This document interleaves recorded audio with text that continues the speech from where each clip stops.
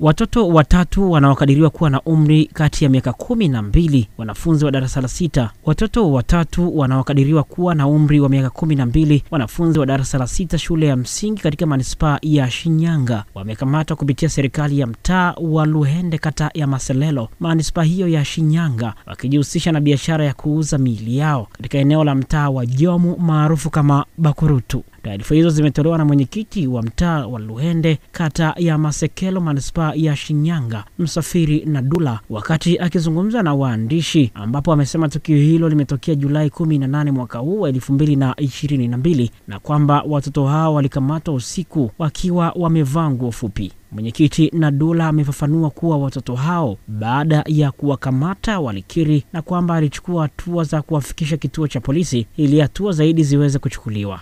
Ni kinukuu, anaeleza kuna wasamaria wema waliwaleta watoto wawili saa kumi usiku kwamba wamewakamata wakiwa wanadanga. Mwenyekiti huyo anasema walipowapeleka polisi walikiri ni kweli wanadanga. Ni taarifa hiyo ya kusikitisha na ya kuwaza, ama kweli dunia imefikia ukingoni. Watoto wenye umri kati ya miaka kumi na moja na kumi na mbili kufanya kitendo cha udangaji ni kitendo cha kusikitisha. Wazazi, tuendelee kuwalea watoto wetu vizuri katika maadili.